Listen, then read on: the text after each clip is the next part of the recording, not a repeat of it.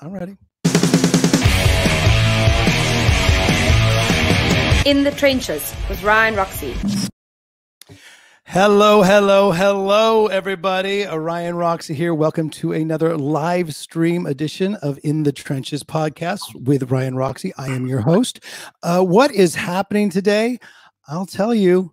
Look at I'm I'm in a world of red right now. A world of red. I'm actually in a world of excitement because it's not every day that uh, I get to bring on the show true influences. And there's no lie about this. This is a rock and roll influence that has uh, influenced many a band, especially yours truly, um, for just playing ballsy punk rock and roll straight ahead. I, there's so many ways to describe rock and roll, whether, whether it's with attitude and punk. This man has all of that, and he's been kicking ass for years. I want to invite in the trenches. Would you please welcome Michael Monroe. Hello, Michael. Hello, hello. Hey, Ryan. How you doing? hello, everybody. You We're in the trenches, Ryan Roxie. Talk about this and that. We're to rock and roll and talk about all that crap. Yay. The lockdown blues. we've, we've, got a new theme song already. That's it. It just, it, we got our own special theme song for today. Michael Monroe is our guest on In the Trenches. If you are listening to this on a regular podcast, you might want to uh, visualize it and get over uh, to uh, YouTube or Facebook Live because right now, You've got the man, uh, not the myth. He's definitely the legend, uh, Michael Monroe, with us today. We have to talk about so many things. Like we we had a little chat yesterday when we were doing our sound check, folks. We did a sound check for this, but uh, the the one main thing we wanted to sort of get out of this is that we want to hype up the new album One Man Gang and the newest video Last Train to Tokyo. And I see that you're a little bit frozen there. I hope that doesn't mean that you're frozen for good. Um, are you there, Michael? Michael's frozen. Okay. So what we do now when this stuff is sort of things happen, nobody panics, nobody freaks out because this is the internet and it is the days that we're doing it. Um, Michael, let's see if we can remove you and then bring you back on when he comes back on. And uh, we will see what we can do technically. So, Michael will probably be calling me in just a second because these things happen. We know it and we don't freak out.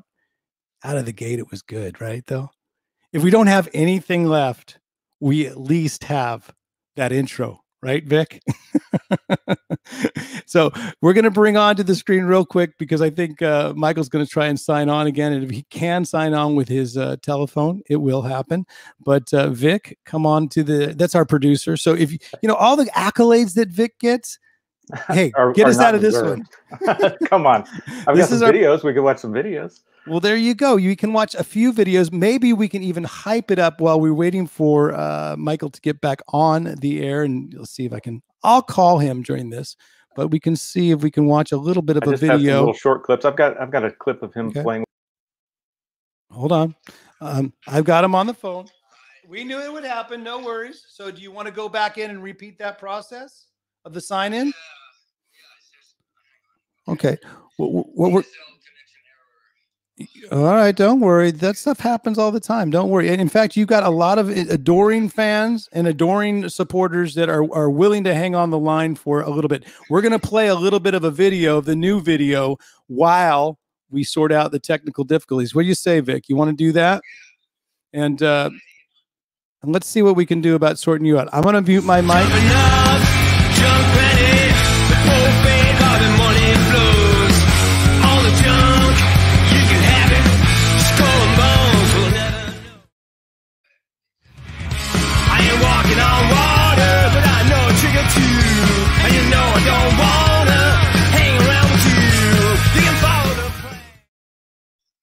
Let's try it. Yeah. Yeah, you know, I'm on the last train back to Tokyo,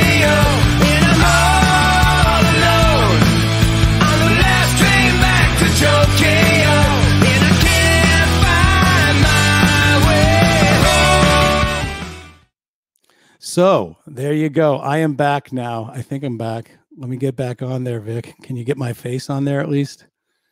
Okay, Vic. Hey, hey. Hello. There I am. Yeah. So that last clip was Last Train to Tokyo. And guess what? Michael took the first train from Finland onto the In the Trenches podcast, but somehow got derailed. But then he got back mm-hmm. on with us. Hey. Story mom. of my life. I'm not not user friendly. I told you.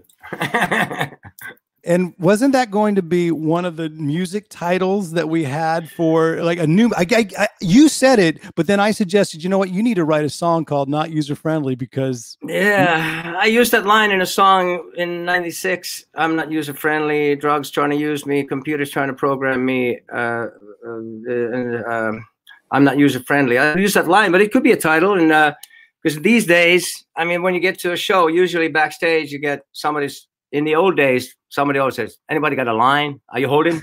You know. and nowadays says, "Are you online? What's the yeah. password?" Yeah. Anyone got a password? check the fe- yeah. And then they used to check the females. Now they check the emails.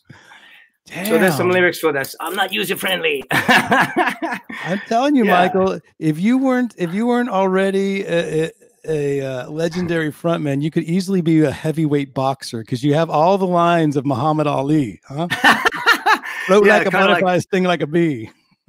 yeah, yeah. Little Richard was the king of all that, you know. Oh man, cool. yeah, I created rock and roll. Didn't know what I was doing. Uh, and uh, and Prince, what did he say? Prince, baby, I had a purple Cadillac before you was born, baby. And uh, he is such a classic. Little Richard, still today, the best rock and roll singer of all time.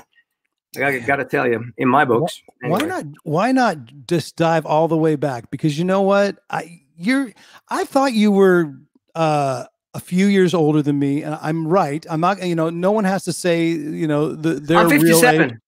I'm 57. So, uh, yeah. I was okay. So I'm three years younger, right? So you're just you just got the edge on me just by a little bit, but I was I was uh fanboying out to Hanoi Rocks records and sort of getting my image groomed and basically all of Southern California's image groomed back in those early days. But you know that three year edge that you guys had on all of the bands i, I do say that if there wasn't a, a, michael monroe and a hanoi rocks there probably would not be a guns n' roses or a hair metal scene could you maybe take a little bit of credit i know you're a very humble guy but take a little credit for that well Guns N' Roses probably would have existed, but uh, maybe not in exactly the same way. But uh, I mean, they took influences in a good way. I think they're they're and they they always talked about Hanoi, and it was great. I, I love those guys. Thank God for them. Yeah, I mean, but the hair metal thing, uh, there was some good bands, but then there were a lot of bands that kind of missed the point in my book that were more into the hair and big hair. And I never, first of all, I never even wanted a big hair. I just, my hair was boring and straight. So I started backcombing, which I don't do. I haven't done for years. I just, wanted a little more fluffy, you know. Yeah. And then sometimes it was so long, kind of it looked like Johnny Thunders in the New York Dolls' first album cover. Uh, but see, to us it was about music and the attitude was more punky, more punk than uh, than this posing thing. But uh, I mean, yeah, it's flattering, and uh, uh, I'm I must have done something right, and uh, it's great to have have an, have an influence. But it's Guns N' Roses, especially, they got the point right, and they had their own thing, and that's why they were so uh, so uh, so strong because uh, they had their own own personality, but they took were influenced in the right way, like we did too. We, we got influenced by everybody from Little Richard to the Rolling Stones to the Ramones. Yeah. And, and, and uh, like you said, you even mentioned album covers that you guys looked at and sort of studied as we did. Uh, obviously, New York Dolls albums covers, and and you know we obviously studied uh, the Heartbreakers, Johnny Thunders, and the Heartbreakers, and of course, the, of course, the, the forefathers of punk. But uh, yeah, I mean, with this uh, hair metal thing, which I was always I was blamed for blamed for. I, I, mean, of course, uh, you know, it's nice to have people, uh, you know, imitation is the sincerest form of flattery and all that. But uh, you know, it's not about sex and drugs, rock and roll. You know, to me, it was such cliches. Uh, so I wrote a song called "Dead Jail" or "Rock and Roll." It was more like realistic and. Uh, it ain't no fun and games, and it's not about partying and having chicks. You know, to me, anyways. I mean, I've never been with a groupie in my life. I could never imagine spending a night with a complete stranger and then having you know some stranger maybe have my baby or something you know i just maybe because i'm finnish you know i was brought up normally, more normal than uh, most rockers think that's normal. That's like, yeah, you know, chicks and all that. a lot of guitarists or rock musicians in America say they started playing music to get, to get chicks. Like, what? I'm glad they could play a little on the side, you know, while they're chasing the girls. you know, I was like, so to me, it was about music, you know, and uh, it was really that first and foremost, you know, I I'll be honest, I, I, was 50 50. I think I, I, it was about the chicks for me. Yeah. yeah but, I, but yeah. then again, I'm that, I'm that kid from Northern California. But you know what, Michael? you are the mythbuster. You are now the rock and roll mythbuster because just in that one little soliloquy of, of talking, you have just basically busted a bunch of rock and roll myths, which is really important because there's a reason why I'm interviewing Michael Monroe when I was looking at his album covers in the early 80s, whether it was, you know, uh, Back to Mystery City or, of course, the Bob Ezrin produced uh, album. Two Steps from the Move. You're pretty, foul, pretty proud of that album, Two Steps, Two from, from, the Move. Yeah. yeah. So there's a reason I'm sitting here talking to you and we're still both here we've been in the trenches of rock and roll obviously yeah. you you've been really really you know down up you've been in helicopters in your videos i know that but you've always in, in helicopters and in hell and back to hell and back many a times and i'm still here to listen to everyone tell me about it but the thing you have is this what is this pma is that is that what kind of gets you through everything? Because I read that somewhere where you have this go, positive mental attitude. Please explain that and what it's all about because I think that's so important to your success and to success of people that really try to make it in this business, right? Well, yeah. Um, well, you try to concentrate on the positive more than the negative because the the more what you concentrate on usually tends to mu- multiply. And to me, you know, if you concentrate on how everything sucks and all that, then then life is going to start sucking for real. So I figure it's best to just uh, you know try to focus on the positive and uh, make the best out of life. And uh, I'm happy. Uh, it doesn't take a lot take a lot to make me happy. I never dreamed about mansions and limousine services and being a millionaire. I just wanted to make a living out of being a rocker, but, uh, you know, by doing what I love doing the most. I started out in the streets uh, of Stockholm with Hanoi Rocks. We, me and Sami Yaffa and Nasty Suicide. The first half a year, we lived on the streets, homeless. But I was happy because I had nothing to lose, and I I, I, was, I can make a living. I don't even need a need a home, you know. And once I got a roof over my head, I was like, wow, this is luxury. So you know that's where it started, and the only way to go was up. And uh, so long as I didn't compromise my integrity, I was being honest, played from the heart, and true to myself, and not compromise for the wrong reasons nobody could ever blackmail me, you know, or extort me with money or anything like that. Because I said, you could keep your money. I don't need it, you know. So that's why I, you know, that was my basis for the whole thing. And if you do it for the right reasons, therefore, nobody can take it away from you. What you have, nobody can take away from you. If you take a shortcut and you cheat, then you're you're not on such a solid foundation. So to me, I said, okay, no one no one could make me do what I don't want to do, and no one could take take away from me what I have.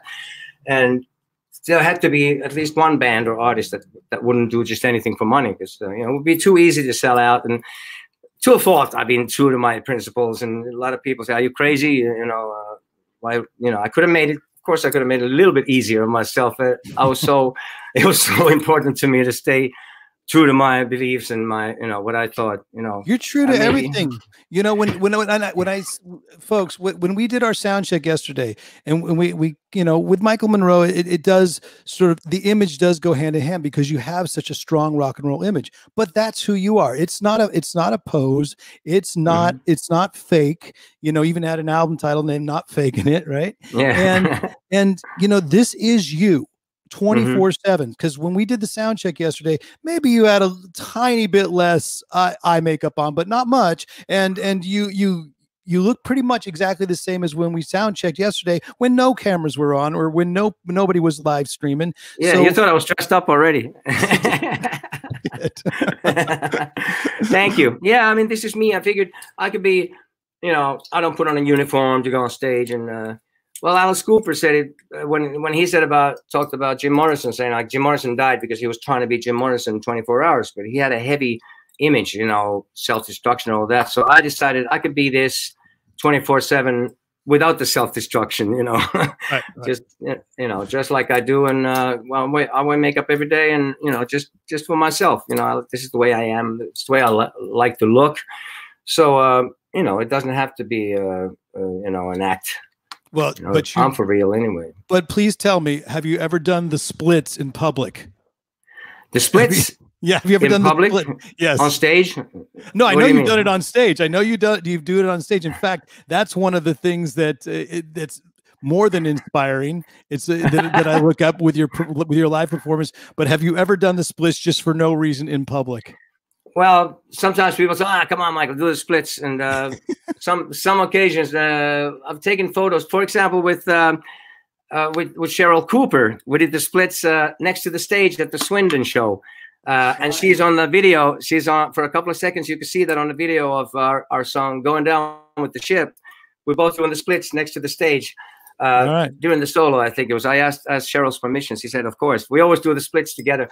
So for various reasons, I may do them off stage as well, and that was a good reason because it's can I still do the splits? Of course, yeah. You know, let's go. And Sheryl is so wonderful. I love her. She's uh, amazing. You know, imagine talk about being in good shape for you know Of course. for how long course. you've been on the planet. She's That been is she's so- been doing all that stuff and all those but I gotta tell you, I gotta tell you this though. Some in so many interviews, people say, "So Michael, when you can't do the splits anymore, uh, how are you gonna, you know, are you gonna give up your career? What am I, a circus act? I mean, come on.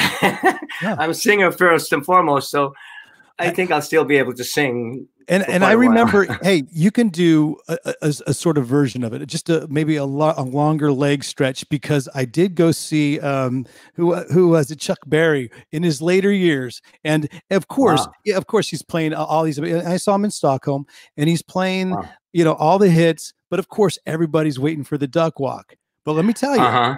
When he finally did do that 2.1 seconds of duck walk, the place went mad. So I think if you even just spread your legs wider apart for one song, you know, when when, when you're like not in your 90s, all right, this is way way long, you know. Well, you know, it's a- it's a good it's a good kind of curse for me, a curse in, in quotes because I have to stay in shape to be able to do what I do, and I have to it has to look easy on stage, right? I mean, you, nobody wants to see a guy with a beer belly huffing and puffing with a face all red and sweating. Ooh, you know, you know, it's it's got to look easy, and uh, therefore I have to stay in shape to be able to do what I what I do for a living. So, hopefully, hopefully, knock on wood, that'll uh, mean that I'll live a healthy, long life. I hope. Well, it goes hand in hand with you. It goes hand in hand with you being a front man and and also, you know, having such a rock and roll iconic uh, symbol with you, which is the saxophone, which you play the hell out of, by the way, and the harmonica. Those are the two instruments I think. Well, sa- saxophone, you've taken it on to, to another level by yourself, I feel. But but harmonica is kind of like a a singer's rock and roll sort of handgun. I think you know Alice plays a little harmonica in 18. I know St- Steven Tyler yeah, harmonica. yeah. He played on I was on the What Generation Landslide. that got you guys what was it that got you to those early performers that inspired you to be the sort of front man that you are today and you know take on those other instruments was, it tyler or was it you know more punk rockers as well but or a combination of all of them was like Little Richard, uh, also Steven Tyler, uh, but Little Richard uh, saxophone. I started playing the sax when I figured, you know, it's part of rock and roll, like the piano.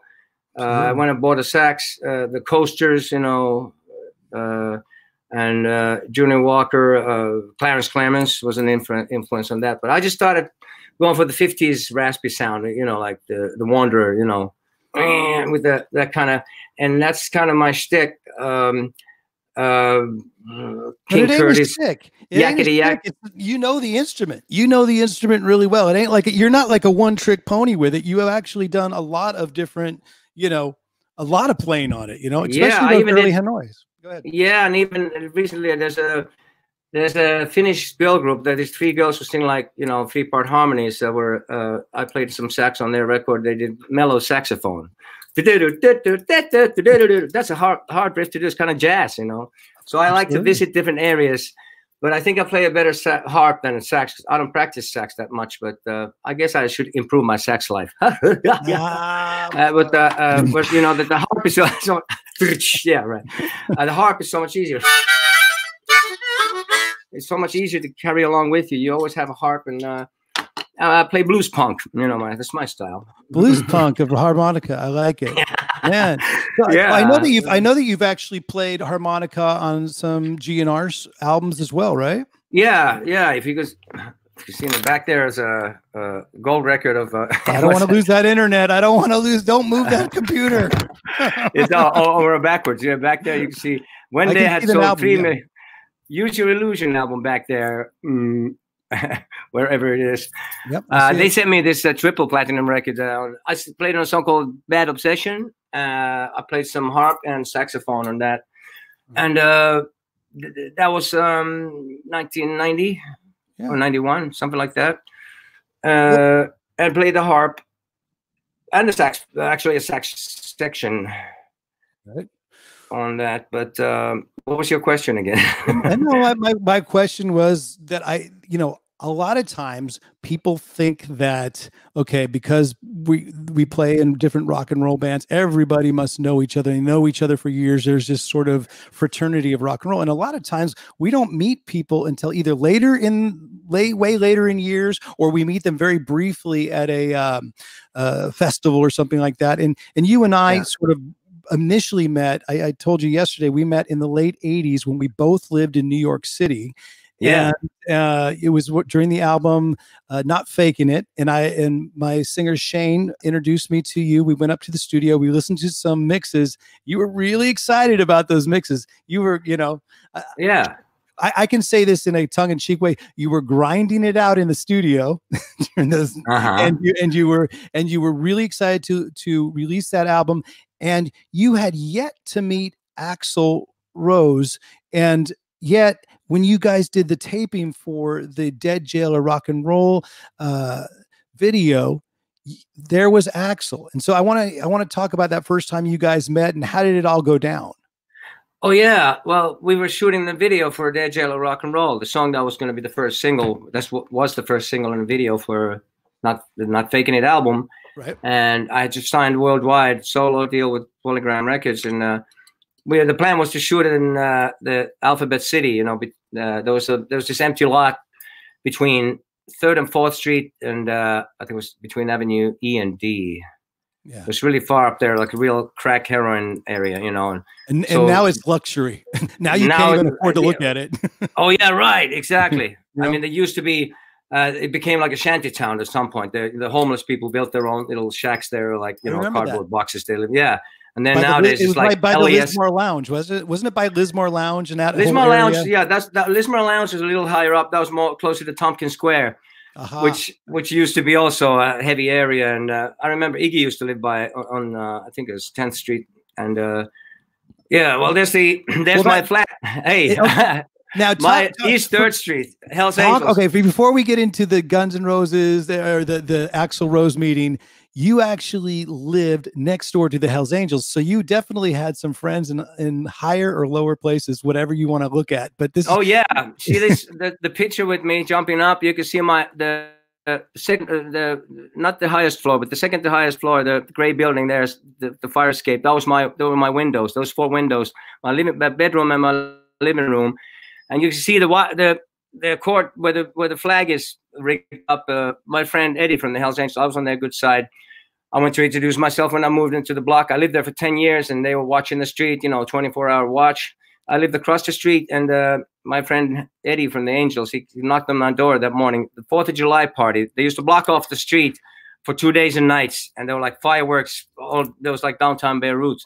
Uh, I don't mean the club. I mean the, the, the bar. I, mean, I mean like really war zone and you could come by at your own risk. And they, my friend Eddie came knocking on my door that morning and says, "Yo, Mike, can you use your fire escape?" And they, I said, yeah, sure, go ahead. And they, there was another angel on the other side of the street in the other building. And they rigged up the American flag like that, and then their logo. So when you look from the end of the block, you see Hell's Angels, New York City. No doubt whose uh, whose block it was. And also their vice president, uh, this guy Teddy, he was a big fan of Bruce Springsteen's, and uh, I was at uh, Little Steven, Little Steven Van Zandt, very important, uh, yeah. very my best friend in New York when we lived there. He uh, he was doing a show. I love his solo stuff. Voice of America, that album was just like a Absolutely. very important for me. And uh, his second solo album, No Compromise, No Regrets, had a song called Native American, which is a duet with Bruce. So Bruce came to sing that duet with him at the Ritz, the old Ritz on 11th Street. That was a great venue. I remember. So that. I was at that show, and uh, as I was trying, I was, you know, I had met Bruce through uh, Steven, of course, at the the Sun City project, which was in '85 when I actually decided to move to New York. When I was part of that video, uh, you know, we didn't get the Sun City. You remember that? That of course, yeah, yeah. Uh, make people aware of this South African situation. Uh, you were in that video as well. Yeah, That's yeah, and I uh, I met Bruce, you know, through Steven. So uh, I was leaving the club, and the Hells Angels vice president was downstairs at the bar, saying like, uh, with another angel, said, "Yo, Mike, you have a drink with us uh, before you go." And I said, "Yeah, what are you doing here?" He says, "Oh, I want to see Bruce," because he, he knew that Bruce was going to walk by there as he was leaving the club. So when Bruce came by, I pulled him his sleeve. I said, "Would you say hi to my friend?" You know, so I introduced Bruce Springsteen to the vice president of the Hells Angels. And Bruce is so nice. He talked to him for like at least a half an hour at the bar there. So there was like after that, you can see that. All right, Mike, whatever you need, stick your head out the window. so I was like, uh, you know, uh, situations like that, you know, normal person doesn't usually end up in. And I've been privileged to, uh, I, you know, there was never a dull moment in that block. And, uh, you know, the bikes were loud. It's the loudest and the safest block in the city. The, the Nelson Mandela of uh, rock and roll, Michael Monroe, bringing people together. I love it. no, if you're going to bring up fun. South Africa, you know, we got to bring up Nelson Mandela. Yeah, I mean, that, that whole thing in Sun City, all these people that were involved in that project, you know, from Miles Davis to Keith Richards to, you know, Bob Dylan and Bob Geldof, right. Bono, everybody, uh, you know, uh, uh, Nona Hendryx, uh, Peter Wolf, the, the Run DMC, all the coolest and, and biggest names in rock were part of that thing. Ringo Starr, Zak Starkey, uh, you know, uh, Eddie Kendricks. Uh, there was, um, uh, you know, Hall Oates. Uh, so many cool Everybody. big names that yeah. Steven got together. Yeah, and Grandmaster Flash and Melle Mel and all those people for the same thing. Let's you know, ain't gonna play Sun City. I don't care what you pay. It was the holiday resort in South Africa where a lot of bands went to play. They were paid millions, incredible amounts of money. But then they were supporting the racist government at the time. Mandela was still in jail. So that, I was, that was ended first, right after that. Yeah, right. that was that. What really worked out good because after that, no bands could go there and play with a with a clear conscience and. Uh, that was my first move after Hanoi Rocks had broken up. I moved to New York. That's we came to see the do the video in uh, uh, in New York uh, uh that Stephen was shooting at uh, Washington Square Park, and that's when I decided this is my kind of.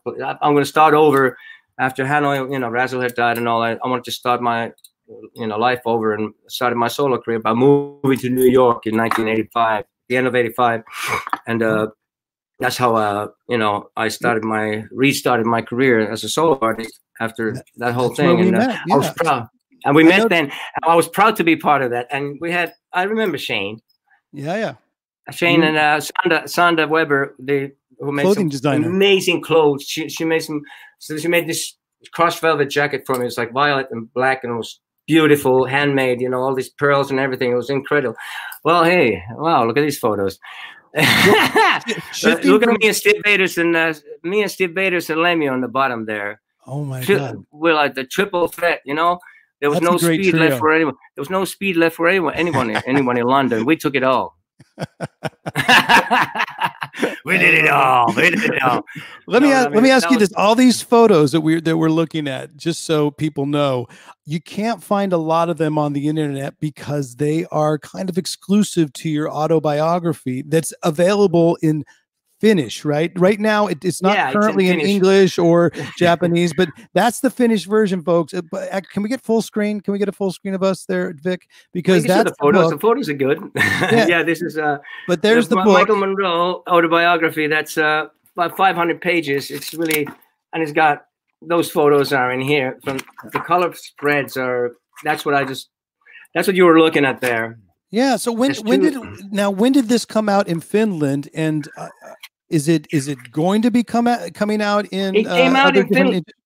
Well, it came out in Finland in uh, 2011, and then there's an updated version version that came out uh, 2013, not actually 2014 or something. And it doesn't really, it hasn't been, it hasn't been translated. There's a there's a Hanoi Rocks book that was that is um, in English. Years, right? Yeah, and that was the same guy who wrote the, this book. Had never written a book in his life until until uh, he did the Hanoi book, and then my book after that. He convinced me to do my book after I uh, I was kind of like, well, what have I got to say? You know, and he said, well, I have a lot of stories. I said, well, I guess I do. Yeah. Oh, so we started doing. I, am telling you, it was a labor of love. With this podcast, there's going to have to be a part two because we just don't have enough. We don't have enough internet Wi-Fi right now to to, to complete show. I think because there is so many I want to get to. Because I mean, we obviously went. We're still in New York. I want to still bring our listeners back to living in New York. You're, yeah, you're, the Guns N' Roses thing too and yeah, your manager says, "Hey, there's uh there's this band and uh, there's this band called Guns N' Roses that you obviously knew of each other, but you had never met officially." And he goes, "The, the singer wants to she wants to come down to the video shoot, or how did that work out?" Yeah, no, it was actually Axl was just happened to be in New York at the time, and we were making a video, and we were going to shoot the video at this lot in uh, Lower East Side in the Alphabet City. Uh, at this empty lot, but then you know there was I said, "What if it rains?" And the, the Scott Galbert, uh, God bless his soul, uh, uh, he's passed on now. Was filming the video. He says, "No, it's not going to rain." And that that was it was the worst downpour of rain for like 50 years or something. It was like incredible. It's just raining so bad that we had to change the plan. So there was no plan B. But luckily, they had the Uptown SIR had a, the sound stage was available. So we moved the whole thing up there. They were handing out flyers to get all these people there to get get an audience to that that stage room, and uh, right. we were shooting a video. And Axl happened to be just he was in a you know stopping by the deli in the corner to get a sandwich or something, and asked what's going on here. There's all these police cars and stuff, and he says somebody said it's Michael Monroe shooting a video. So says, oh wow, so he came to he wanted to introduce himself, and he came to say hi. I was I was in a Winnebago. Winnebago getting makeup done, and he was uh, knocked on the door, and he just said, "Hi, I'm Axl," and I say, "Hey, come on in. How you doing, man?" Uh, yeah, let's go uh, that uh, let's see later at the shoot that uh, you know he seemed like a nice guy and we got along great and uh, then uh, he was standing outside drinking beer talking to people. It was really really a, so like yeah, he was a nice guy and I, I said come on in at the maybe you like this song. He says he heard the album not faking it. He had had like an advanced cassette. Right. and he said really liked it. I says oh uh, I've heard you sing you must like that McCafferty from Nazareth. Like says oh yeah. So he was a big fan of Nazareth and uh, and he said he used to listen to Love Hurts in secrecy in his bathroom because his parents wouldn't uh, they wouldn't uh, approve of rock and roll. So so it's like pretty heavy for him where he grew up. And uh, I said, well, you must like the album because I'm not faking it. it is a Nazareth song. So he said, oh, it is a Nazareth song. And so he didn't even know that "Not Faking It" was Nazareth song because that album was never that big in um, in uh, well, there's the cover. Hello, everybody. Hello, you fucks. so uh, uh, he's he's um, he said, "Oh wow, he didn't know." Now he likes it even more because it was Nazareth song.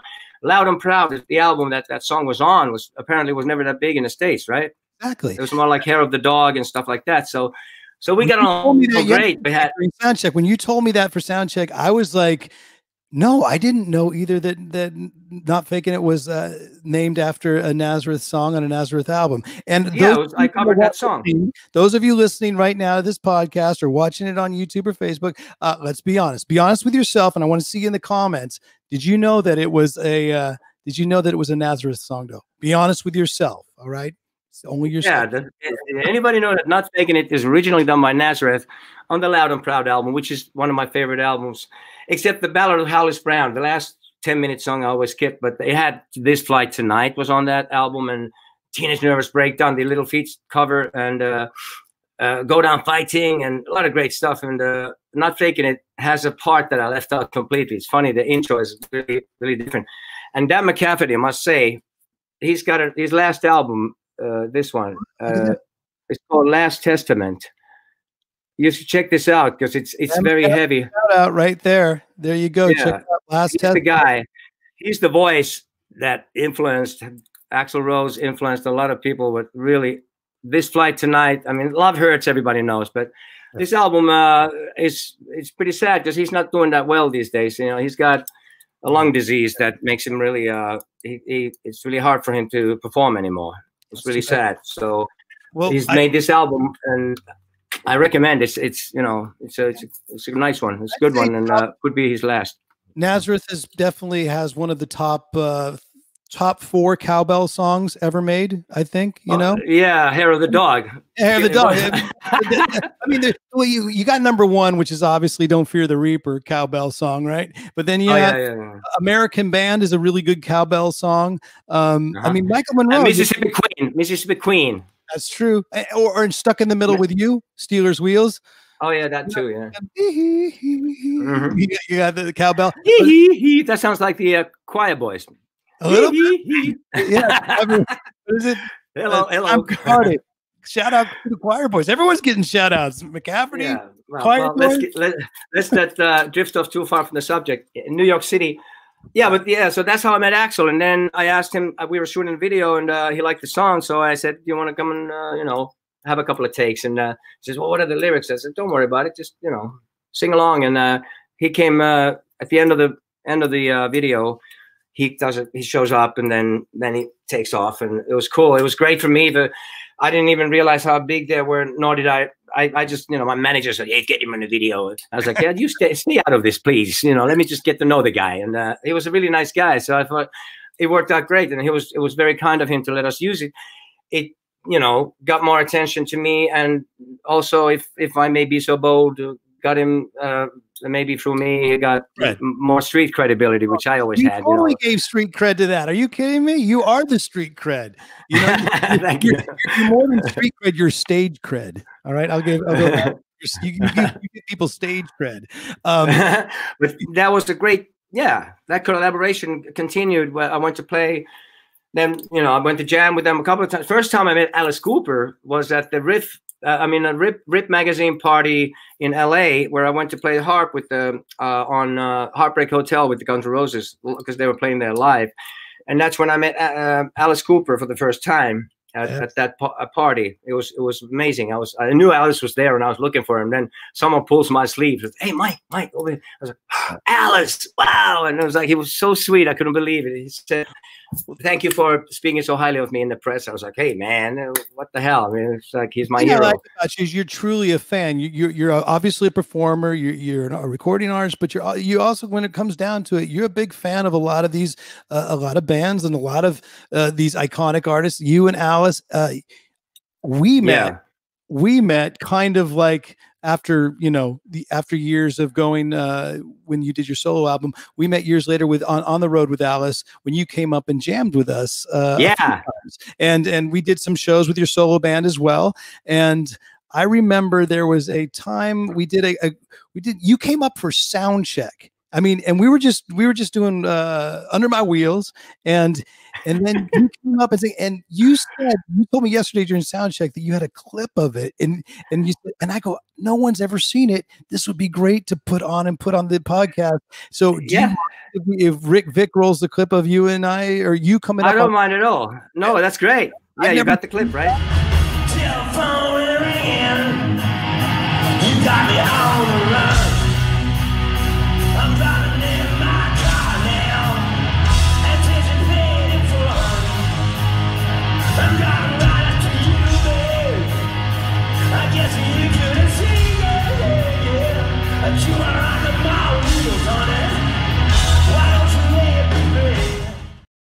There you go.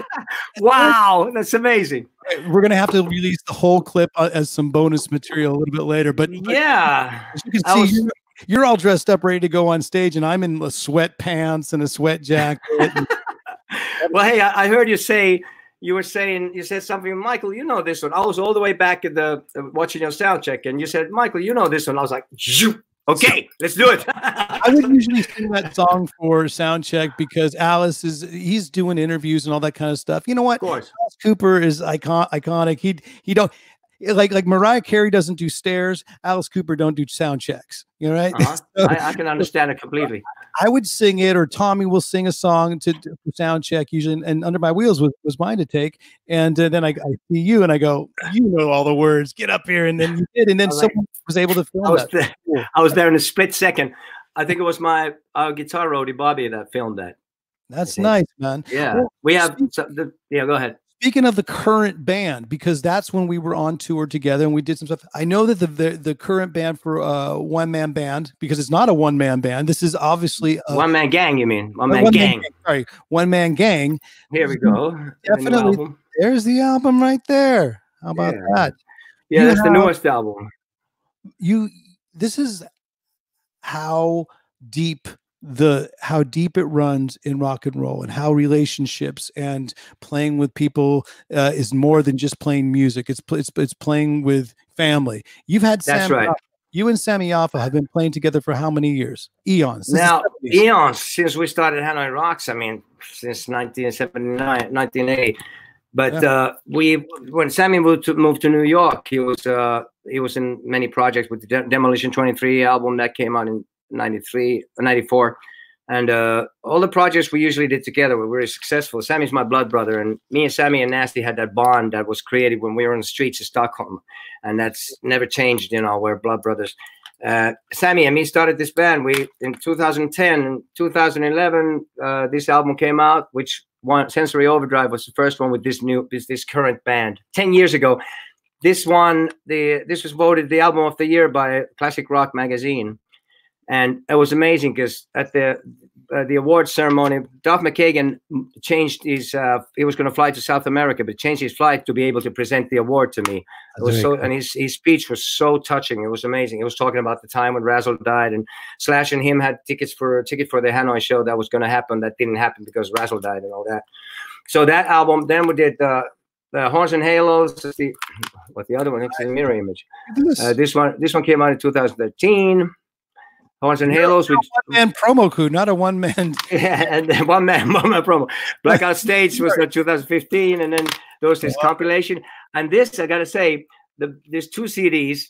First one is uh, you know stuff from my solo career, beginning beginning of my solo career, and the second one has three songs per each of these new albums. Uh, before One Man Gang, obviously, and then at the end of it, we have the last song of this thing is Magic Carpet Ride with Slash uh, featuring Slash, which was never previously released. See, Slash asked me to come with him to uh, uh, do this uh, uh Steppenwolf uh, cover of Magic yeah. Magic Carpet Ride for the Coneheads movie soundtrack, the comedy movie, you know, Coneheads. Yeah. And he asked me to sing on that, and I got Sami Yaffa to play bass, and Slash had uh, Kenny Aronoff on drums, and that was a killer band. And we did, we did, uh, we were going to cover that song, but then we did a um, uh, me and little Steven had been sitting around and uh, working on a you know a new arrangement for the song. So we we kind of kind of turned the chords around and uh, made it more you know because the original is. I like to dream. So we had like. I like to dream. We had a different kind of approach. Uh, so the new different arrangement. I suggest. I suggested that to Slash, and he said, "Well, that sounds cool. Let's do both versions and see which one the uh, record company chooses." Uh, Warner Brothers, the film company, and they they decided to go with the new arrangement version. So the old version was never used. I had it on an audio cassette all these years. That this happened in 1993. So I had all these years. I had kept it to myself and uh, never let anybody else have it, of course. And uh, I, you know, maybe played a couple of close friends. But uh, so when this compilation album, you know, which is like my 30 year, 30 years career, uh, was coming out, then I I emailed Slash and said, uh, was there going to be a lot of trouble, you know, negotiating lawyers, guns and money to get this rights to use that that version you know, that I had. And uh, he said, "Well, send it over." I said, "Yeah, it was in the email. I just sent it already." He's like, "Yeah." He, he replied, he's, "He's such a sweetheart." He said, "It's okay. You could use it." Nice. What? Nice. I love you. I love you. I was like, "Yes." You know so what? so perfect because we're such. You you you're you're chaotic in your like you're chaotic in your everything's chaotic, but it's controlled, and you know what you're doing, and you're very organized, and you're punctual. I think the one thing that people don't realize in order to make it like as many years as you have you have to be in control of things. You have to be you have to have sort of a system of the way you do things. So it might seem chaotic but it's definitely uh, controlled and you definitely have a way of doing things and you're very likable. No doubt about oh, it. thank you Thank you. It's nice to hear. There's a method to my madness, in other words, right? Always. Always. Well, I wanted to get to the band because we got to Sammy Sammy of the current lineup because I know yeah. Rich Jones is on guitar. Steve Conte, is, yeah. you know, we know Steve as well, a good friend of the show. Karl Rockfist is on the show. So how how does this lineup? It's it's been a pretty solid lineup for um, for a few years now, right? For ten years. 10 mm-hmm. years. It's been like since 2010. Only different difference was uh, we had Ginger Wildheart on guitar on the Sensory Overdrive album. Then he was replaced by Dregen uh, uh, for the Horns and Halos album. And then for the Blackout States in 2015, uh, when Dregen couldn't, uh, he had too much on his plate, he had to move on. Rich Jones, who was already a friend and who had already been doing our artwork, you know, he's done all the you know the designs for art, artwork and merchandise.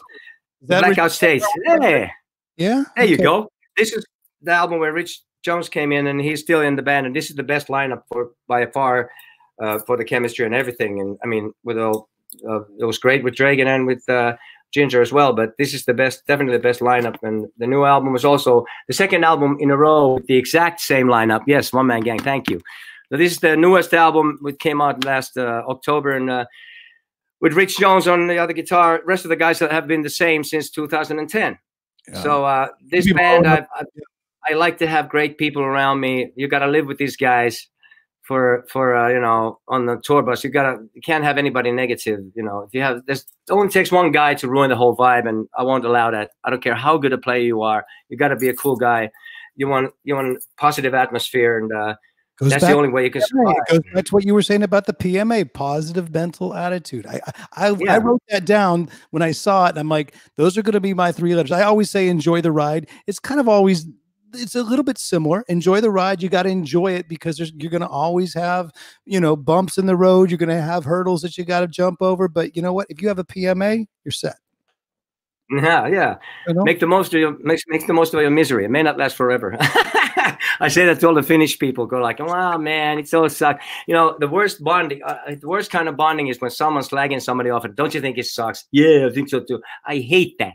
I just can't stand when people negative energy on top of stuff. I mean, yeah, it makes you feel like shit too. I mean, you if, eh, when you're talking not talking highly of somebody makes you feel makes you feel better too. I love the the guy who did um, not faking it album with me, Michael Frondelli, who's the engineer for uh, actually he was the engineer for Billy Idol's Rebel Yell as well. Uh, he was like produ producing. Uh, he was producing, and he did the Hail Hail Rock and Roll, that Chuck Berry Keith Richards collaboration. He that record also. So he was the engineer uh, pr producing, um, uh, not faking it with me. And he always says when somebody slagged somebody off in the studio, he says, "Well, he speaks very highly of you." And I was like, everyone always like, well, makes me feel does. Like yeah, oh, yeah, it really made you feel like shit. Oh, and I just flagged him off. Well, he speaks very highly of you. In other words, uh, you know, don't flatter yourself. Do you think he even even you know spends any? Yeah, it's one second to think you. How do you? What do you think you think about you? As Ben said, oh well, he speaks very highly of you. I think it was great when he always said that. I was like, everyone was, oh yeah. Does he mean that not? Yeah, uh, yeah, right. Did he actually say that? well, when you say when you say Billy Idol, that kind of opens the door for me to go into. Oh. And by the way, just so you know, just so you know, I'm going to be blowing up your email to play on a track with you because just doing one sound check of of uh, Under My Wheels uh, is not good enough for me that you have on your iPhone. I wanted I want to play on a track with you. I feel it's it's been much too long, so I'm saying it right here on the record in the trenches that uh, I definitely going to be. Uh, I'm going to be anytime and getting on a rec, uh, getting on a yes. record pretty soon. You you have Let's such do it. You've played with such amazing guitar players. I guess, like you said, uh, Dregen is is sort of Sweden's rock and roll institution. And yeah, it's like Slash in America. Exactly. Dregen, like the Sweden Sweden Slash. Uh, but then you yeah. got one I wanted to talk about because you opened the door with Billy Idol um, is that you. I knew you were going to do. you knew I was going to go there, huh? I don't. Uh, hopefully, you want to talk. Hopefully, this is not a no go zone, but I did want to talk about the band that you had uh, with Jerusalem uh, with Steve Stevens called Jerusalem Slim. Uh. what happened was that, and is that you know is that something that was a cool time or was it a transition? it's just a just a project that uh, kind of ruined my career in America. You know. Well, thanks a much. lot, Dave R, for bringing that up. All right, I'm not. I'm yeah. yeah, but no, I mean, you know, it's just a, it's not a positive experience. In the end of the day, I mean, uh, I don't want to waste too much time on this, but uh, you know, it's uh, there was a, there was a conflict as it turned out. I mean, the guy wanted to work with me. yeah. and he kind of looked the part. And uh, he heard the Not Faking It album. And the thing is, one of the things was like the solo in the song called All, All Night with the Lights On had that solo and that that effect, that that kind of effect in the middle of the solo that Michael Frondelli did for uh, Phil Grande. Phil Grande played the guitar on Not Faking album. God rest his soul. He just passed away a couple of years ago. Amazing player. He had like nothing between him and the guitar. I've rarely rarely witnessed such direct contact with his emotion and going into the guitar. And he he's the guy who first said rock like fuck. One morning he came to the studio. I was like, all right, let's rock like fuck. And was, that's my slogan. I, am telling you, still, uh, it, I like your PMA better, but but rock like fuck. Oh, I'm, I'm, I'm sorry. Can I say the F word here? I'm I didn't mean to. whatever you want, man. You, are fine. Okay, okay. Well, you know, yeah. This is not the PG 13. Ah. Great. All right. So the guy wanted to work with me and we started working on some songs and I showed him what kind of guitar playing I liked and he's a really good player so he could play their Chuck Berry stuff too and uh, but then and I wanted Little Steven to produce the album but the record company wouldn't go for that and they wanted to have uh, German Michael Wagner who was a heavy metal producer who was like a bad combination with Steve because Steve didn't need much encouragement to go that way with the two hands on the neck and the doodly doo, you know with the million notes a second and no soul and uh, as it turned out it was a money thing. A lot of the, I mean, uh, the publishing thing was funny too because he said all of a sudden that he needs to have 50% of all the publishing of all, every song. And I was like, how do you know who's going to write how much of the song? And my my company Polygram already took 50% of the publishing. And I was well, like, here's the so, deal. So I feel I feel like that project looks great on paper. I'm sorry yeah didn't work out. I know that he died a, of loneliness. Oh, one of those albums that people are talking about still today. So it's one of those, I guess, uncut gems or one of those diamonds in the rough that when people yeah. find they're really they're they're really happy they did. Um, trust me, it was a couple. It could those. have been a good record. We did make some good demos, but then the studio and we ended up uh, going to L.A which was like I didn't want to record in LA. Uh, we did the vocals like in Wisconsin in some weird studio in uh, uh, you know, uh, and it was like not really happening. And then uh, everything was getting all uh, into. We went to LA to do a couple of weeks of guitars, and it turned into three months of guitar hell. and uh, the whole whole project was like I was on uh, Polygram Records. It was my deal, Michael as Michael Monroe, and after the Not Faking It album, you know, as I was making that record, I needed some uh, more money in the budget. So there's okay, sign a publishing deal. Okay, uh, so I need a bit more, a couple of grand more. Okay, sign a merchandise deal. So they got me by the balls. So maybe those, those, are the, those are I, two things not to do when you're strapped now. Go okay, to the so record. What company. happened? Well, you wanted to go here, so I'll, I'll, tell this. I'll try to keep it short. I don't want to waste time on this. Uh, so as it turned out, Michael, we end, people that, that the internet started getting all fuzzy and, and weird and negative the minute we started talking about negative stuff. So no, yes, I told you, I told you, let's not go there. But uh, okay, the conflict, as it turned out, there were the album ended up costing over seven hundred thousand dollars. And uh, I was in LA going crazy. My A&R guy was in uh, in New York. Nobody was helping me. The guy in uh, the A&R guy in uh, LA came to the studio Steven uh, Wagner played him some stuff. Hey, sounds good. What's your problem, Michael? I says, what? If you want to spend another three hundred thousand dollars and then realize it's a piece of shit, it's not my record anymore. And it was my deal with Polygram, so I I already owed them for not faking it like a couple of a couple of hundred thousand.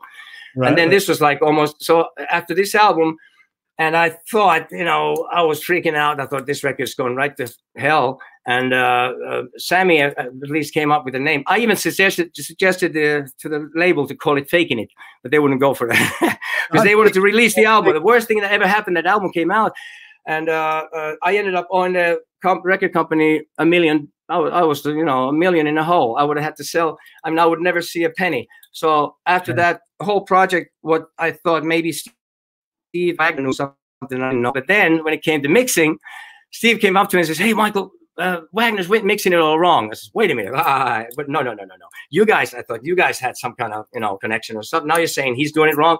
This was recorded all wrong. This is totally not what the demos were. Uh, that you totally turned around and maybe you think your, your solos are not going to save any song.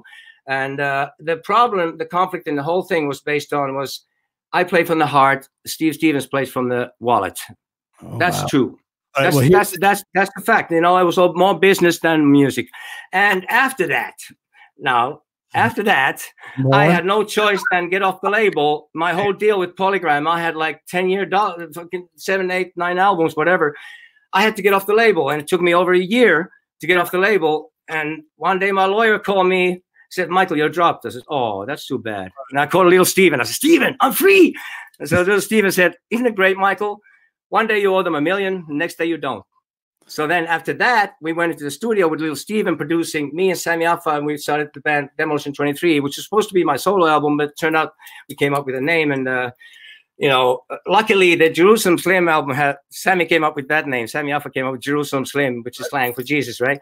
He, uh, he came up with the name, luckily, because uh, if it was under Michael Monroe, I would be dead you know, my career, unless it was called faking it, truthfully.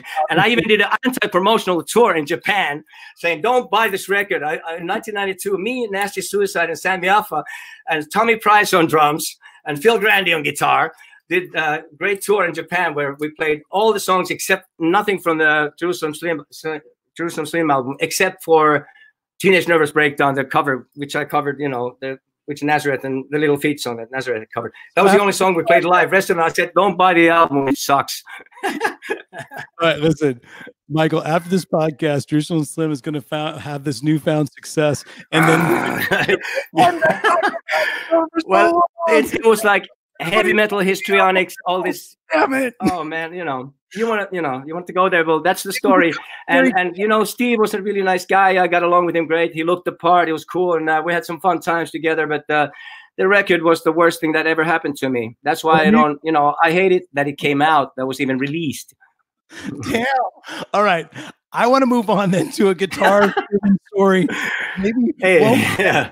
with, with, you gotta love it. I mean, you know, after that, my yeah. I, some people like that record, you know. I did not expect that answered when I asked that question because I was like, "Oh, I like that album. I like both guys. They're amazing guys," and then, and then I just didn't expect it. I, it's not like I was doing it you know, on purpose just to like stir the pot. Trust me, I I, I can do that yeah. on many other shows. I can do that on my buddy's coffee talk show.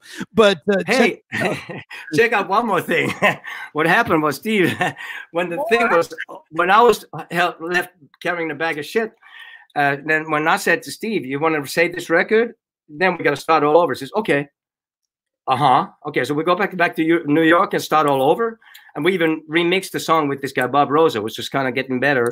So then all of a sudden Steve disappeared, and then he ended up. It was nowhere to be found for a while. Then I was watching TV, and MTV, some award ceremony. He had ended up. He was um, uh, Mötley Crüe's Vince Neil was doing a comeback, and he was playing guitar with him, and they made an album together. And on that album, there was a song. there was a song called. Uh, uh, there was a song we had. It was called "Down Mobile," and the chorus went, "Can't have your cake and eat it too." So there was a song called "Can't Have Your Cake," which was credited to Steve Stevens and Vince Neil, which I had written with Steve originally. So he stole that song from me, even. Oh okay. So, so then, then I said to Polygram, "You got my publishing. I'm paying you fifty percent. Do something." so they did nothing. So right. uh, you know, uh, but I heard, uh, completely separate part two is going to be uh, dedicated to Jerusalem Slim and signing bad publishing deals and all well, that. Yeah. yeah, but I mean that was that was uh, typical of record company. You know, no they doubt. got you by the balls. That you they take all your money, then they do nothing for you. They're supposed to get your songs and movies. So you're given the publishing. I mean, the publishing advance is really your own money that they give you as a loan. Then you have to earn it back. So it's not really like extra money. So that's what happened. Uh, you know. But anyways, that's enough of that. You've created your own brand now. You've created your own institution, right? You know, and you've actually created your own genre, and and a lot of people that that are inspired by that genre. Um, one of the people that obviously you said earlier that you looked up to noticed you and uh, asked you to perform uh, with their band at Les Paul's 75th birthday at the Hard Rock Cafe in New York. So that oh. was that was a story that I want people to know about because it's a nice guitar player story. I think Michael's going to end up liking this guitar player because the guitar player was none other than Les Paul, his 75th birthday. And who was the band that asked asked you? Aerosmith. To, uh, Aerosmith. Yeah, I jammed with Aerosmith on Les Paul's 75th birthday at the Hard Rock Cafe in New York City. Uh, as it turned out, Nightbob uh, who was my sound guy uh, in the early 90s. Yeah, I love Night Bob. He does. He Night ran- Bob, he's holy. He's, oh, he's Night Bob is a killer. He's guy. in that book. He's all over the book, that Walk This Way book. But he he used to run uh, the sound at uh, Don Hills when I yeah. used to play there when I come in. And Night Bob is just a, a legend. And yeah, he's, he's right there on Van Dam Street. Yeah, yeah, he's flat there, and uh, he's a he's a, he's a brilliant guy. I hate the dolls. He was doing the dolls, the New York new New York dolls, and so Night Bob ran into Steven Tyler at some MTV unplugged thing, and Steven asked what what Bob had been doing, and Bob said, you know, just Michael Monroe in Japan. I said, oh, I love that guy. Give him his give me his phone number. So uh, so Bob um, gave him my phone number, and then one day I came home and there was a message on my answering machine saying, Michael Monroe, Steven Tyler, just want to pass on some stuff. I was like, what? Steven Tyler calling me? Then Bob called me and says, Hey, Michael, I, uh, I, uh, you know, ran into Steven. I hope you don't mind. I gave him your number. I says, no, I don't mind. I can see the sunlight coming out the window here. It's shining. No, it, I know it sounds like Jerusalem Slim or you know. yeah, the second coming. Right uh, this. Okay, it's better. Yeah. So, uh, yeah, wow, yeah, that was the event. They gave him a cake that was made. This is Sunburst Les Paul cake, right? Right. That was right. amazing. Yeah.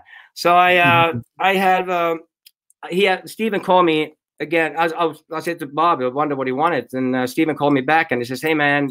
He loved my album, not faking it. He said he loves my singing because I sing in pitch. And uh, he said, uh, "You want to?" Then he said, Do "You want to come and play the saxophone on?" Uh, they're doing this thing for Les Paul, like a half hour set. And uh, do I want to come and play a sax solo on Big Ten Inch Record, that old R and B song?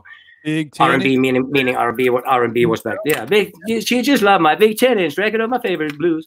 So I was like, of course, you know. So I went there, and uh, it was uh, amazing. It was a long line outside. I said, "How am I going to get in here?" And then before I could think another thought, there was a guy in a suit that came and says, "Mr. Monroe, right this way, please." Took me to my table, and uh, I was like, "Wow, that was such great organization around." And, and Steven, you know, I was there was a lot of people there. MTV was. I had this on video, but I I wouldn't I would not uh, send it. I, I gave it to actually last. Uh, two two years ago when we opened up for the Hollywood Vampires, I ran into Joe Perry, right. uh, backstage, and I I had made uh, I I have a machine that makes VHS into you can transfer into DVD. So I made him a DVD of the of that video of that song. I had that song only, and that, uh, that was almost to the day. Wow. Sorry, it was the From same. It was like June twelfth, and this happened. Uh, I think it was the June tenth that we're doing that gig. That was like almost to the day. Uh, how many years? was 1991 to 2015 it was like almost the same date that that had happened. So I gave him the DVD. I don't know if it has a DVD player even, but I remember the event. I went to my lawyer, Michael Guido. Do you know Michael Guido from New York? I remember Michael Guido, of course. Yeah, I... he was always hanging with Richard Sambora. They, they were hanging out there, you know, having drinks. And Michael, I, you know, I used to drink a little. I never really liked drinking, but uh, Michael said, "Come on, Mike, have a drink." I said, "No, no, no, I got to go and play my sax solos." He says, "Come on, okay, well, order me a tequila sunrise." And my late wife Judy was at the, at the table, and so was Steven's wife, uh, uh, and and uh, and Joe Perry's wife, they were sitting at the table, and uh, I was like, "No, Michael, I really want to drink." But okay, order me a tequila sunrise. Apparently, uh, well, then the song came up. I had to go and play, and apparently they had brought a tequila sunrise, this huge tequila sunrise, and uh, fucking six tequila shots and tequila you know, beer chasers, and so Stevens and uh, Joe Perry's wife, all these drinks from Michael. And Judy, my late wife, said, "No, no, no, no." and I was I was pissed later because I realized that they didn't, you know, the Aerosmith guy later on they didn't want to sit at my table because there was all these drinks there and they didn't drink oh, anymore then. And, and I didn't like drinking myself. But I went on stage and Steven Tyler said, "Where'd you get those lips?" That's a story, right? Yeah, it was great. And then, then can you play that thing? And I, I played a couple of riffs and then did my solo the best I could. And uh, even Joe Perry smiled. He was like, "Yeah, that was good. That was good." Just, and just to wrap that one up, though, Michael, like going yeah. back, to that, going back to that Les Paul shaped uh, cake that they had for Les Paul. Um, that night, did you have your cake and eat it too? All right, that's it. That's that's all I'm going to say about that. well, I think that uh, Downward Mobile was a much cooler, cooler uh, uh, title for that song. If you want to go back to that, I do not. I, actually had a better melody than what they did later on. I think personally. I'm, I'm moving on. I'm moving on to uh, one man. That was one. The yeah, new that album. was one of the great nights. One of the greatest nights of my life. I gotta say. See, then I'm glad I brought it up. All right. Yeah, yeah, so, yeah. That was a great experience. I'm still proud of it. I'm glad, and I wish I was in touch with those guys more because they're a great band. And Steven Tyler actually did inspire me I remember on the phone I was talking to the, the Pump album was out, and Jamie's Got a Gun, amazing song. And uh, I remember talking to him on the phone, and I said, you know, I like that new song. Jamie is a gun. Jamie's got a gun. Oh yeah, right. I knew it was Jamie's got a gun, but I was trying to be cool. Like I didn't know the song. Just like I name. knew one man gang, not one man band. Yeah. oh yeah, yeah. Well, yeah. Who cares? You know, whatever. But anyway, Steven was great. Also, this is funny. Nightbot doesn't have a sense of smell, right? You know that.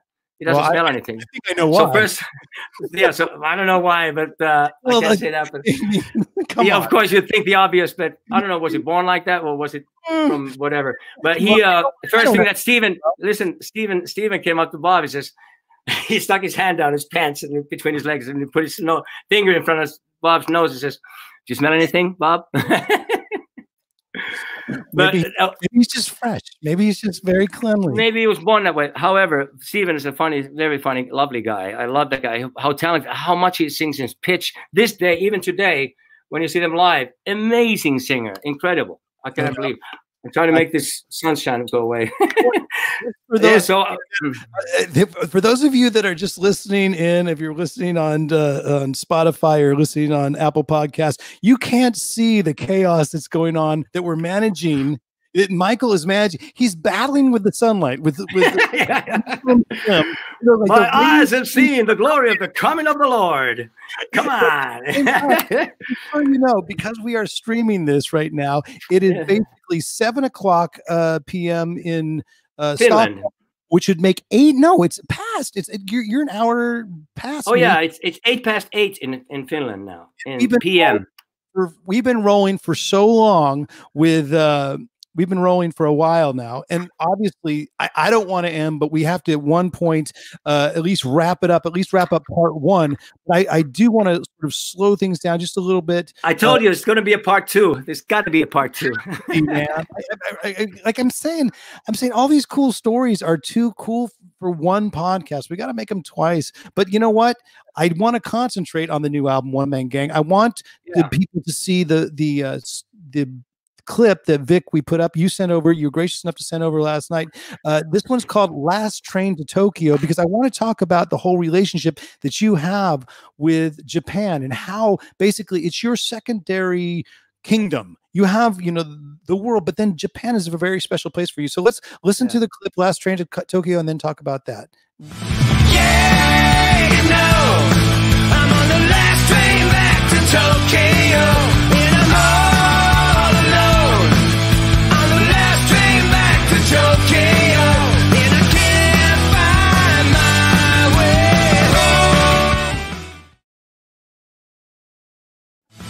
I want I want to do I want to go back to playing live shows. When I see stuff like that, Michael, don't you want to play a live show? Damn it! Yeah, I do. I was like, that's my favorite kind of exercise. It's like you know, you got to go for that. You know, that's when I you know stay in shape and all. And uh, the the feeling after a great show, it's like the best best feeling in the world. That's what you know. The kick after you've done a great show, you're, you're on a high, right? Absolutely. That's like the best feeling in the world. But it's you, amazing you're doing an interview, so you know what I can. I, and if you turn around, uh, I, I I would normally think I was interviewing someone in a dressing room right now, but you have a, a little makeup stand right there, a makeup. yeah, oh, yeah. That is, yeah, I do. didn't see that. All right. That's yeah, what, and did you see? Oh, you haven't seen my? Have you seen my uh, Firebird? To go Check away. my Firebird, man. I got my name in pearl inlays here, Michael Monroe. Look at that. Look at that. Ain't that a little honey? You know what? If you if you're watching this or listening to it on the podcast, you got to watch it on YouTube or Facebook. Wow, this is killer. That is yeah, a great. Who made that for you, man? Was that custom well, built?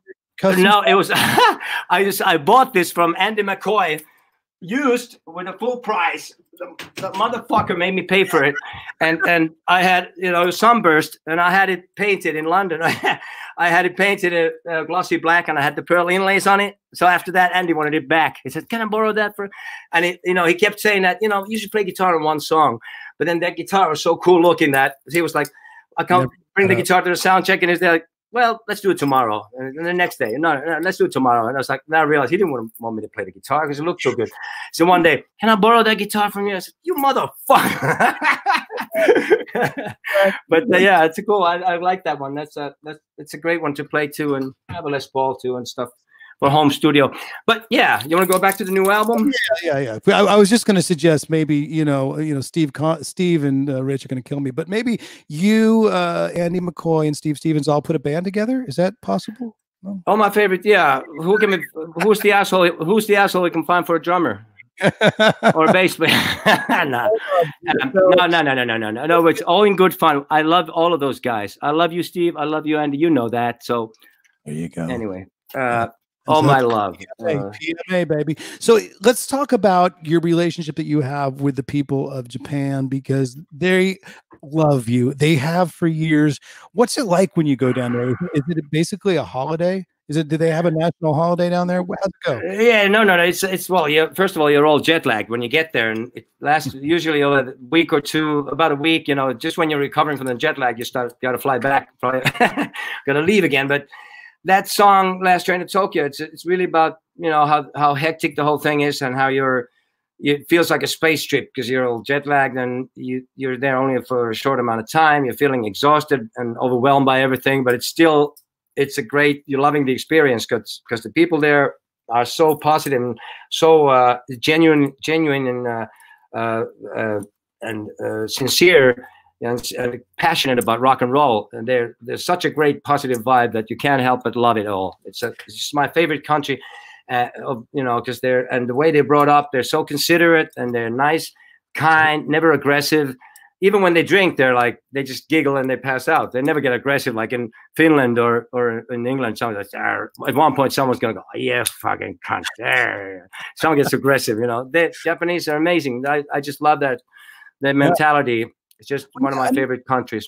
The thing is, I've I've been lucky enough to go there a couple times. Twice, um, I think two or three times. Not enough. I would love to go there more. But every when I do go there, they have my record collection, every record I've ever played on, uh, in pristine condition, in all the right packaging. They they have the right pen to sign for the right, uh, you know, that vinyl or CD.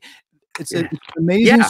Process, but and, but they they also give you gifts. So I'm just wondering how many gifts do you get when you go to Japan on one of those trips? Well, I had first of all their their uh, attention to detail and all the the CDs they make there, like this this CD, like the, oh, there's this uh, wonderful cartoonist Atsuko Shima who draws me like this. Killer. I love her drawings, and we made a T-shirt with the whole band when she's drawn. Uh, this they make uh, they, they sell CDs, physical product. That's why I also love them. Uh, uh but um, so God, I lost my train of thought. Your question was just the the amount of gifts because they do pay oh, the gifts. Yeah. So what happened in uh, after Hanoi Rocks broke up? You know, we were in we Hanoi Rocks played there in '83 and '84. Then we broke up, and after that, and with not faking it, I was like way even bigger than uh, Michael Mon- as Michael Monroe. I was bigger than Hanoi Rocks ever was, and I was getting bigger and bigger. In '89, I played the New Year's Eve gig was great. We had Japanese band Loudness, Michael Monroe, Don Henley, Bryan Adams and Huey Lewis.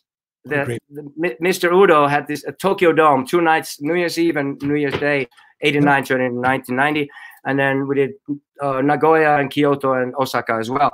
Uh, and then I had, I came back from my own tour. I had so many gifts. I had to, they said Bon Jovi didn't even get, get that many gifts. So there was something special about, I had like, I had to buy four big metal trunks to put this stuff in. And I stayed up. I, I slept maybe two hours a night because I was going through all this amazing stuff they gave me, the wedding kimonos, uh, incredible like fans and beautiful art that I couldn't get rid of. You know, so I had to like. It was driving me crazy. It was so much stuff. I had like a hundred Michael Monroe dolls. You know, it's like it was amazing. So I had more gifts than anybody, and I was like, I had to send them cargo in the in the trunks to get to New York later on because I saw too much of it. So four so, trunks, four trunks, or you know, four extra luggages to get uh, pieces of luggage to get back. That's basically like one week on the road with Alice Cooper and him shopping at H and M. How about oh, that? Oh, really? you like. You like right? H and M or Zara. So, so let's question here. Michael Monroe, that man never ages. Huge influence oh. many. If Thank I, you, Robert.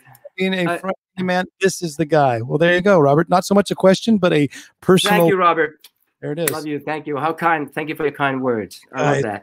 You've That's been, amazing. Alice, Alice is shopping that much. Oh, dude, he's a, he's a shopaholic. He, I mean, you know, you know, he used to drink a little bit. He, he's well documented. He used to do a little this, a little that, but now he does. He puts it all into the H and M and uh, uh, Zara and whatever chain clothing stores are around the world. I say the best time to ever meet Alice Cooper is not sort of um, at the show because you know he'll give you a stare that'll like just turn. Oh yes, Alice. Yeah, yeah. You don't want to mess with Alice. But if you want Alice, yeah. Alice, just meet him at, a, at an H and M or Zara, whatever town you're in. You know? God bless him, and, and and that's why he's still here for sure. I mean, that's a healthier addiction for sure. well, is that thank God for that? Is that sort of your basic like on the road routine because people there's been a lot of comments i've been checking out where they're saying how does this man look so you know look so good after so many years of being in this business in the trenches always rocking and always rolling it how what is your sort of routine to keeping fit are you going to have a some sort of fitness regime tape out now or what how do you do I have no no secrets. I just uh, I like what I do. I think uh, you know loving life and uh, being uh I never I don't drink. I never liked drinking. I never you know it made me feel bad and uh you know of course I changed my demons back in the day. I went through uh, I wanted to more like expand my horizons. I, I was talking to God and I had an out of body experience and all that, and I broke on through to the other side, so to speak, to see what I wanted to see and uh, you know to uh, satisfy my curiosity. And I went through all that, and um, you know I just didn't want to get hooked. You know, when you get once you get hooked, then you're kind of going around in circles. So I think we're here to, our souls are here to learn, and uh, you know, uh, without getting too deep or phys- philosophical. I don't, you know, I never like drinking, and I think that's one thing. You know, drinking makes you look old, and uh, once you, if you start worrying about getting old, then you start looking it. I think by the time you're 50 or 60, you, you'll have the face you deserve your your personality personality starts showing.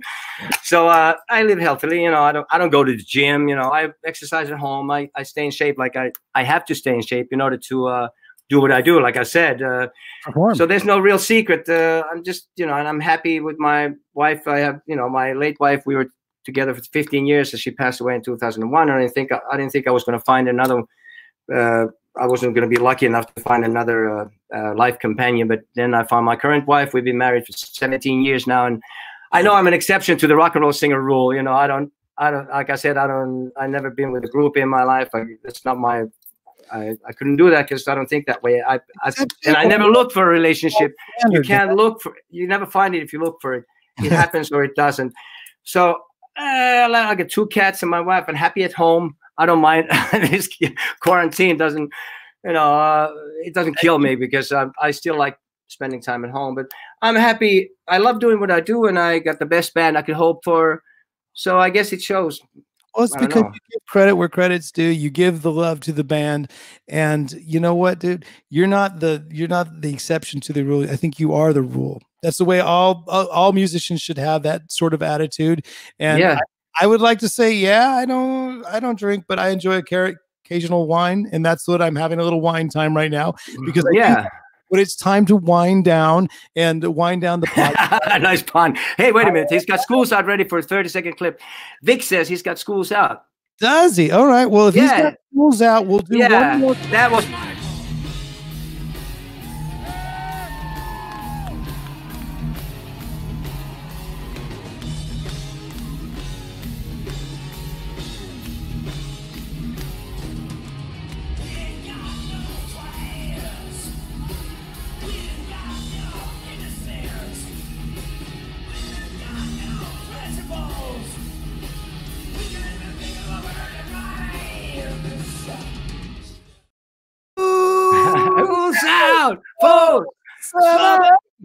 Oh, it's the greatest, one of the greatest nights of my life. You should see in that video, there's a clip where Alice commands me to come next him. He goes like this with his knife. It's like, oh, okay, that's an order. Thank you. I was so happy that night. It was one of the greatest nights of my life. Steve Conte's on there with his, his amazing. Yeah, yeah. Steve, Steve was there. And uh-huh. it's funny because I asked Alice uh, the lyrics. Uh, the first I was saying uh, when you say we can't even think of a word that rhymes. Was that when you did you run out of ideas or what? When you're running that lyric uh, that can't even think of a word that rhymes. It's, no, it's also because the first word verse rhymes. We got no choice. All the boy, girls and boys, Uh, uh, all that noise. Making all that noise because I found new toys. That all rhymes. Second verse, we got no class. We ain't got no principles. We ain't got no innocence. We can't even think of a word that rhymes because that those none of those None lines rhyme. rhyme. I love stuff like that. It's behind. You didn't know that? No, I never knew that. Never knew that. Yeah. There's a couple Ah. things I didn't know. I, I'm Okay. I love that stuff. That's why You I know the po- freaking podcast. And, I got to say about Johnny Thunders, we talked about Johnny and Sonda Weber and all that. That's I'm not going to tell the story about the Max's Kansas City bathroom if you don't want to. Please but- do. But okay, for those of you that No, know, that don't know, uh, Johnny Thunders, lead guitar player in the New York Dolls, but also had his own his own solo career with so many great songs. It was all about the Yeah. song, Johnny. Yeah, And Johnny was a dear friend. Yeah. So I was talking to Johnny actually when I was that around the time when I jammed with Aerosmith. I was so excited. I was jazzed, you know, uh, that I was playing uh, the sax and I was I've been talking to Steven Tyler. So I, oh, Johnny called me. He was living in Third Street back then. And says like, "So what are you what are you doing, man?" He says, "Yeah, I- have you heard the latest Aerosmith? Have you heard the last Aerosmith album?" He says, "Nah, I didn't hear the first one." I said, okay. And this, and this- so I got a new album called Not Faking It. So he says, So what were you doing before? That's like so New York, so Johnny. Johnny used to go with Sanda. They said Sanda told me they were fixing in the they were shooting up in the Max's Kansas City bathroom, and there was a poster of New New York Dolls on the wall. So, and when Johnny finished fixing, he would squirt the blood on John, Dave Johansen's face. anyway, you don't want to let me. no, no, seriously, you want to know my Johnny Thunders sort of uh, Yeah, tell me, tell me. No, my, my mom, who just God rest her soul, she just passed away just recently, but she Oh, she came to New York City. She came to New York City when uh, I lived there, and she went out with me and my buddy Stefan. We took her out all night on the town. I, I, I actually took her to um, what's the place? The Chelsea Hotel. I wanted her because because a buddy of ours had you know a room there for that night. And then by the end of the night, I said, "Mom, do you want to go to bed? We can take you back to you know to the apartment. You can sleep on the couch or whatever. It's no problem because you know it's New York. You can sleep on a couch." And she said, "She's a trooper." She said, "No, I want to go out with you the whole night. I want to experience the whole night with you." We took her to the to the loft. So you you had said that you had not been to the loft, but my mother was at the loft, and and Wow.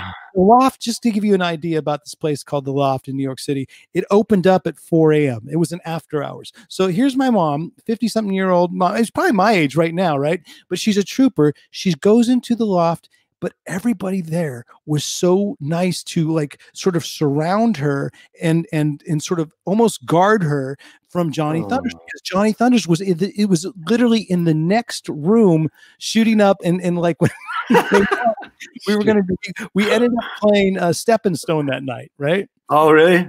Yeah, so so my mom got to see me in Johnny Thunders jam. So that's a kind of a fun story about that. But Yeah. and, and Johnny Thunders never played the chord. Well, put it this way: he played the chords he played.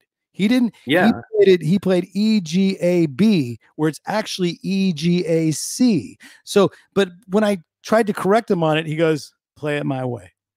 Yeah, yeah, yeah. I said, and it's "Yeah." and it, it was especially it's not what you play it's what you don't play all the space and you know what you all this uh well steve stevens actually told me that he wanted to he wanted to jam with johnny at the limelight and then johnny finally uh, told him okay come on up and he went up to play with him and johnny went in front of him combing his hair like that and then then he said are you from poison and steve left the stage apparently that's what he told me he would have anyway, loved me. I'm not. I sure. mean, I know you love the guys playing, and he's a great player. That's the subject keeps going back to that. But I gotta say, if you want to talk a bit more about my new album, there's a song called "The Pitfalls of Being an Outsider," which has the the lyrics are a bit of a piss take about the hip hop scene because it said, you know, we don't got no, we don't get no champagne on the rider. Uh, these are the pitfalls of being an outsider. But it was, um, you know, the theme of the song is that we do this whether we get all the, the money and cars and the champagne we do this whether we get those things or not and we do this on for the right reasons because you're not on stage because you want the approval i ain't coming out because i need the love don't want to join your social club it ain't a long way to the bottom it's always a, that's a nod to bon scott as well it's a long way to the top kind of you know in homage to him but uh, it's you can lose it all uh, at any time, and uh, that's why you better do it for the right reasons. I ain't coming out uh, uh, to support the scene. I don't give a fuck if you don't like me. It ain't a long way to the bottom. That so that's you better. That's what the song is saying is that better do this for the right reasons. Because uh, it all may fall apart at any time. So it's a bit of advice to the younger bands and artists too. You know, play from the heart and stick true to yourself. Stay true to yourself. No one can take away from you what you have. You know, but if you do it for the money and the fame, that's the wrong reasons. I want to know when's it when's it going to be in a video? I want to know when the, that video is coming out. Well, that song is actually one of the most popular songs of the album now. Apparently, is is, so, okay. uh, is, is it already out there right now? Does Vic have a clip of that it's one? on this. Uh, no, it's there's no video for it. It's on okay. the album. Buy the record. one man gang. Buy the record tonight. But you know what, Mike? then it's up to you to make the video tomorrow, and then we'll debut it on the Sunday live stream Sunday. Can you make one yeah. of those videos of that with the guys? Because I, honestly, I, I don't mean to like pressure you on it, but you know, no, there, there was a song we did uh, with 150. There was a. Sorry, what did you say? I want you to make one of those, you know, those videos that they that everybody's making these days. Yeah, this virtual. Yeah, I was part of one in Finland. They had a song called uh, uh, "In Front of Something New." It was uh, 150 artists. I played the sax solo on it that uh, came out a while ago, and you know how all these, you know, all these people. The thing is, uh, sending, making a video and sending it via WeTransfer. I can do that, but it takes forever. Last night I was sending that Alice clip for you three times, and it didn't go through. I was like, almost 90%. It says, okay 22 minutes left. Then it says 30 minutes left. Oh, okay. So I'm waiting and it doesn't go through. I was like, it was like, must have been two in the morning when it finally went through. So, so uh, I'm not good at that stuff. So uh, I would love to make a video if it was easier. I know you say you're not user friendly, but you're definitely friendly enough. Be, and the and the internet gods like you enough that our Wi-Fi connection has been quite stellar through this whole entire show. It really has. So uh, it has, yeah. You've been doing something right. And even though yeah. you're very animated when you move, and that kind of messes up sometimes with the Wi-Fi, you did great. Everything worked out perfectly. There Thank was a. You. I'm glad to have you on. I hope to have you on again. I hope to get. Uh, I'm going to sort of sort of like I said, get you and uh, Rich and Steve and Sami and Karl to maybe do one of those videos for that song that you just gave us the lyrics to. Yeah. So and and, and the pitfalls of being an outsider. And yeah. somebody asked about Andy McCoy. No, it's unlikely that we're going to work together again for. Uh, oh. Okay. So to just to answer, I forgot I, I missed the name, but uh, yeah. Anyway, but uh, yeah, that song, uh, the new album. I mean, has I have no need to work with anyone other than this band because, and, and with you, of course, you want to do anything with you, oh, Roxie. I'm, I'm Mr. Roxie, anytime for you, Ryan. there's, the there's the current lineup. We uh, Vic can Photoshop my little face in on the side at one point. but yeah, I mean, this has been great fun, and uh, we got to do a part two, man. We will, we will, and you know what? On part two, we're going to open up the floor to a little bit more questions from the from the people that have been in the chat. You guys, yeah. killer. At one point, I, am looking and there's like 600 people watching all the world. You know, and and it's it's a very cool thing to know that everybody's hanging out here, interested in your stories because you got a ton of them and the way you tell them. So I I just want to thank uh, vocalist saxophonist, harmonica player, and all around legend, Michael Monroe, for coming on in the trenches. Thank you, buddy. Now, uh, thank you so much. The people, the, the, the very few that might not already be following you on uh, Instagram, uh, where are they going to find you? Is it at Mike Monroe official? Is that where? I think it's Michael Michael Monroe official. I think at that Michael Monroe official, and maybe Vic has that. And the Facebook yeah, I guess so. I'm so bad at that stuff. Uh, mm. Yeah, I think it's Michael Monroe official uh, in, uh, Instagram, and then Facebook. I post stuff on Facebook, you know, photos and uh, say hello. You're gonna find stuff. it come up, and and of course, yeah. you know, I, I would I, am gonna get yelled at if I don't say it again, but. uh please subscribe to uh, our channel right now if you're watching on uh, YouTube or Facebook. If you're just listening to it, enjoy the ride, of course. And uh, Michael, I'm looking forward to a part two. It's been great. Hang on the line for just one second. I want to thank everybody that's been in on the chat the whole entire day. I wanted to really quickly bring these Me guys too. up the air that they've been helping all day. Thank you. Hey, Vic. He's been monitoring. Hey, rats.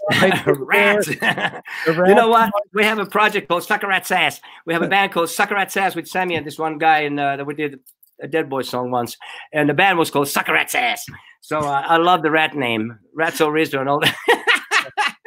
he, he's the one responsible for all the Jerusalem Slim questions. So there you go. Okay. Hey, don't worry about it. I'm happy to talk about anything. I just don't want to get into too much negativity. And uh, you know, life is not all Jim uh, Jim Dandy all the time. But uh, the truth be known. The more important, most important thing is the truth. You know, I tell the truth, truth in a house full of lies or wherever. But uh, thank you guys, and that was really great. That was great. Stories are amazing. Yeah. Well, thank you. Uh, there's tons of those. Plenty more where that came from. They're good. Hey, Rat, did you want to clear hey, real quick? Rat, part two. What'd you well, say? I, I, just wanted to say there wasn't a lot of information out there about that, which is why I thought it would make a good question. Now I know why there's not a lot of information out there about that. You know? Yeah, yeah. I mean, now on, the information you need. People I'm glad we. I'm, well, I'm glad we cleared it up, you know, and and you know, it's something that people want to know about. Of course, I'll talk about it. I got nothing to hide.